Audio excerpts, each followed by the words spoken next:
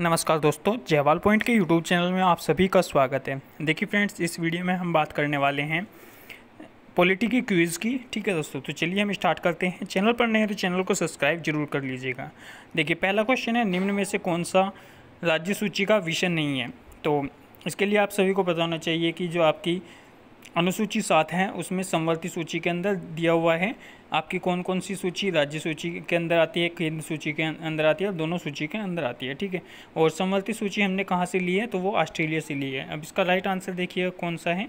जो राज्य सूची का विषय नहीं है वह है सीमा कर चलिए, अगला क्वेश्चन है कि राष्ट्रीय आपातकाल राष्ट्रपति राष्ट्रीय आपातकाल की घोषणा कर सकते हैं। हथियारबंद विद्रोह के आधार पर, भारी आगमन के आधार पर, युद्ध के आधार पर तो या ऊपर वर्णित सभी कारणों के आधार पर तो जो राइट आंसर है वो है ऑप्शन नंबर डी ऊपर वर्णित सभी कारणों के आधार पर।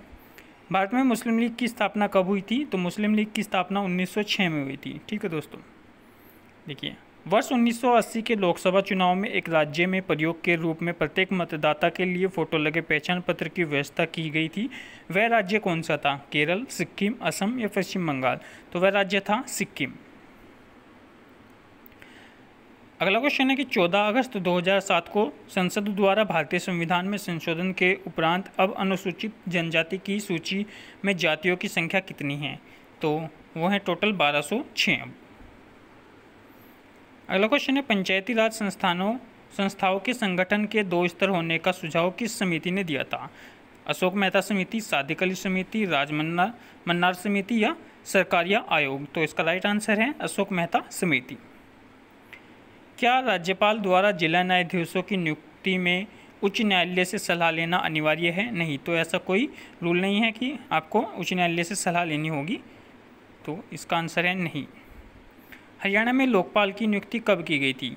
तो अगर हम हरियाणा में लोकपाल की नियुक्ति के बारे में बात करें तो वो शायद उन्नीस सौ तिरासी, ठीक है दोस्तों? तो हरियाणा में लोकपाल की नियुक्ति उन्नीस सौ तिरासी में की गई थी। डॉक्टर भीमराव अंबेडकर का संविधान सभा में निर्वाचन हुआ था, पश्चिम बंगाल से या मुंबई प्रेसिडेंसी से तत्कालीन मध्य भारत से या पंजाब से? तो इसका जो राइट आंसर है, वो है पश्चिम बंगाल से। भारत का संविधान है, कैसा कठोर है, लचीला है, कुछ कठोर, कुछ लचीला, इनमें से कुछ नहीं।